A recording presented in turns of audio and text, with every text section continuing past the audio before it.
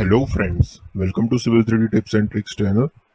Today we will discuss uh, some more tips and tricks in the profile view settings. So in this part uh, we will cover how we can do hatching between two profiles. So for the first two parts you can refer the link in the description bar. So let's start the video. So generally we do hatching between two profiles in our CAD drawings and uh, generally we do it with the hatching in the AutoCAD.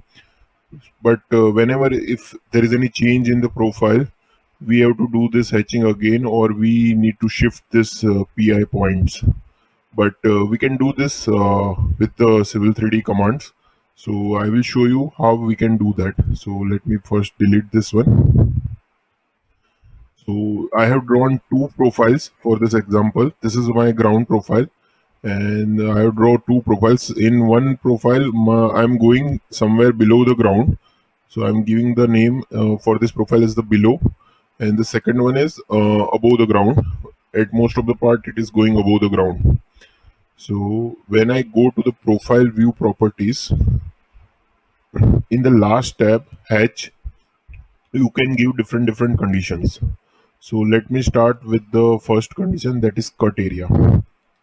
So in the cut, I will select uh, upper surface as my ground surface and for the lower one, I will select my below profile and I will not change anything in the shape.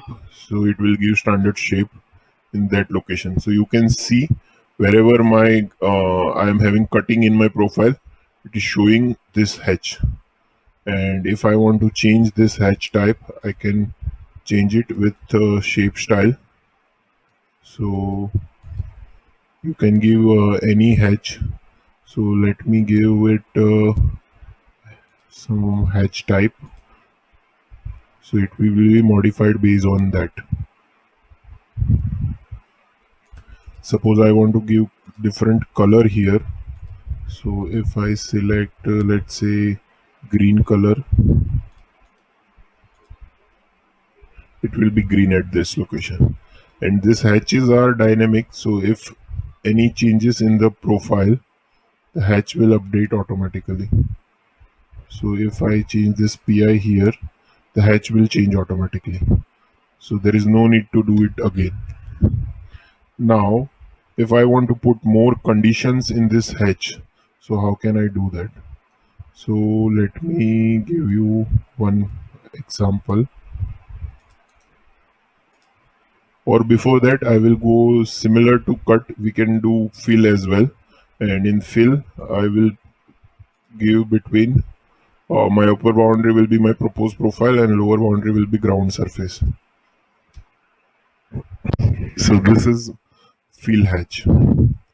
Now suppose I want to change my upper boundary to the other profile so I can do it with uh, this so now the hatch will go up to this point.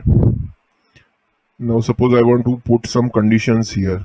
Like my proposed profile is passing uh, there is another option where my proposed profile is passing from here. So I want to put a hatch only between these two. So how can I do that?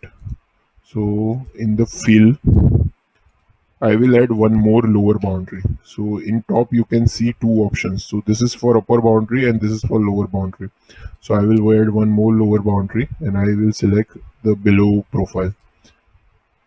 So the, my hatch will be having two lower boundaries and wherever whichever is the first one it will select that one so my hatch is restricted between these two so this way you can do multiple hatches based on your requirement and you can provide various upper boundaries and lower boundaries. And this hatch will change with your change in proposals. The third option is multiple boundaries. So in this you can provide multiple upper boundaries multiple lower boundaries. This is based on your uh, requirement. You can use this.